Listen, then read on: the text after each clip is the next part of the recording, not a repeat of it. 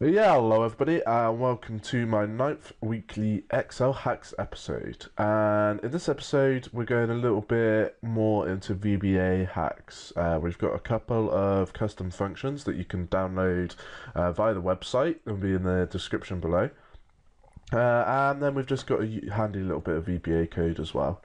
Uh, so we've got the week commencing custom function. So you put in week start, and it just gives you the date of the Monday at the start of the week. Uh, we've got option compare text, which you can't actually see here because it's all in the VBA code, and it just allows for easily defining how you want to uh, convert uh, compare text. Uh, and then we've got sum color, which is a custom formula that allows you to sum up uh, certain part, uh, certain uh, colours. So here I've got the sum of pink, green, and yellow.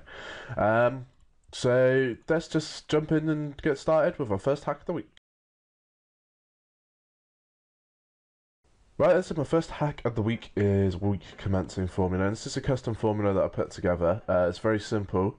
Uh, and you see here I've got a list of dates and then a list of week starts and they just use this week start custom function uh, and if I just show you the function quickly for those of you that are interested uh, and if I move that one down so it's this one up here so it's just public function week start uh, it takes a date passes out a date uh, and then it just uses a little weekday formula to work out what the Monday of the week is. Uh, you can change it slightly if you want to show the Tuesday or the Sunday. Uh, you just need to fiddle around with this formula a little bit. Uh, but like I said, available to download in the description below.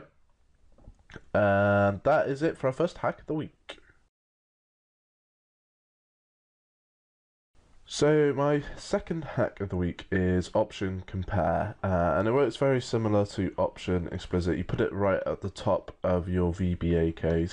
Uh, so this is only useful if you're writing VBA. So if you don't know what VBA is, uh, I would say skip on, but I'd actually say go and watch all my VBA videos because they're great. Um, that's not bias. Well, it is bias. Anyway, so I've got this little function that says if hello equals hello, then message box success. At the moment, if I press play on that, it's not going to do anything because uh, the default setting in VBA is that capital letters in a string, when you compare it to a string in lowercase, uh, is, isn't going to equal the same thing. But you can actually, up here, if you go to option compare text and just put that in as an option, and now if you press play, you'll see that it comes up with the message box saying success. Uh, and that can be really useful. Uh, quite often, I've spent ages putting loads of formulas in my code to make them equal each other, but you can actually just stick this at the top of all of your things, and it makes all of them compare without taking into account the letter case. Uh, if you want to do the opposite and you want to force it to be say that it, they have to be the same, uh, then use option compare binary. Uh, but obviously this is the kind of default option, so you don't really need to use it. Uh, it's only really the option compare text that you're ever going to put in your code. Uh, but some people like to put it in just to, to make sure that it's doing it that way. Um, and that is it for the second hack of the week. Right then, everybody, it's time for our super hack. And our super hack this week is the color function formula. And this is, again, a custom formula that I put together. Uh, and what it does is it just sums up a range depending uh, and takes a color as a criteria. Uh, and the way it does this, so you see here we've got color function, and then you've got J3, which is the cell which you want to use the color from. So in this instance, I've referenced the cell that the formula is in, because uh, that's where my color is. Uh, and you see, as you go down, okay, J4, J5, so it's always referencing the cell that the formula is in. And that just means I can color the formula cell the same color as what I want to show the sum for. Uh, and then the next parameter is the range that you want to sum up. So in this case, I've gone for sale quantity.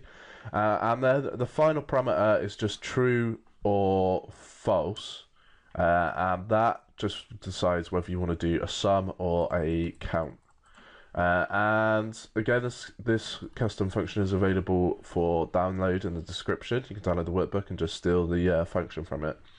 Uh, if we go into our code, uh, and I just talk through this, so uh, it's just a normal function, color function. It takes the range uh, of the color, the range of the sum, and the range of the or the and the option of whether you want to do a sum or a count then define some variables. We take the value of the color index, and then this if statement uh, here just decides whether or not we want to uh, do the sum or the count. So if sum set is true, then it does this bit, which does a sum, and if it's count, it does this bit, which is count. And then it just loops for all the cells and sums up any that have the relevant color. Uh, or loops through the cells and does a count of the relevant color, and then it just returns the the answer to the function. Uh, so a little bit VBA heavy this week. So next week I'll probably do a little bit less VBA stuff. Uh, but for those of you, I know most people who watch this channel uh, do do uh, watch it for the VBA things. So hopefully you enjoyed that, and please keep submitting your hacks. Uh, I've I've had a little bit of a dry bit of people sending me hacks, which is a little bit upsetting. I quite like. I love seeing the, the ones that you guys come up with because it makes me learn new things as well. Uh, so please keep sending them through, uh, and uh, I hope to catch you next week.